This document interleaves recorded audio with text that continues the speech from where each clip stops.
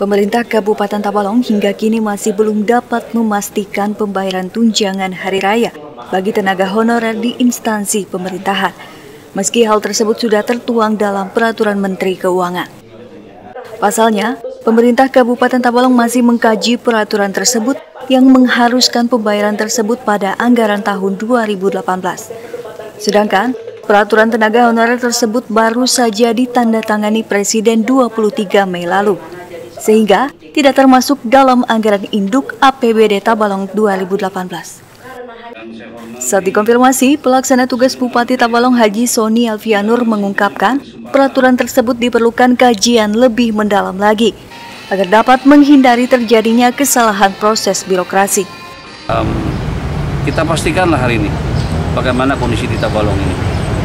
Karena seperti yang kita lihat bersama, kepala daerah juga pro kontra masalah ini.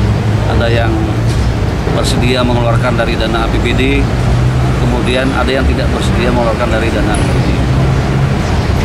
Nanti kita lihat uh, payung hukumnya, uh, payung hukum itu bisa undang-undang, bisa peraturan, bisa kepmen, apa pun itu bentuknya, payung hukum itu kita teliti secara seksama supaya kami pemerintah daerah, saya dan jajaran ini tidak salah nantinya.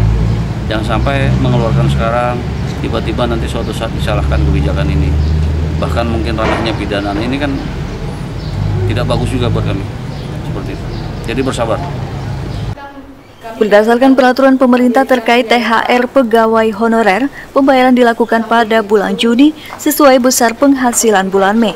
Jika belum dapat dibayarkan, maka dibayarkan pada bulan-bulan berikutnya. Ramadi, TV Tabalong melaporkan.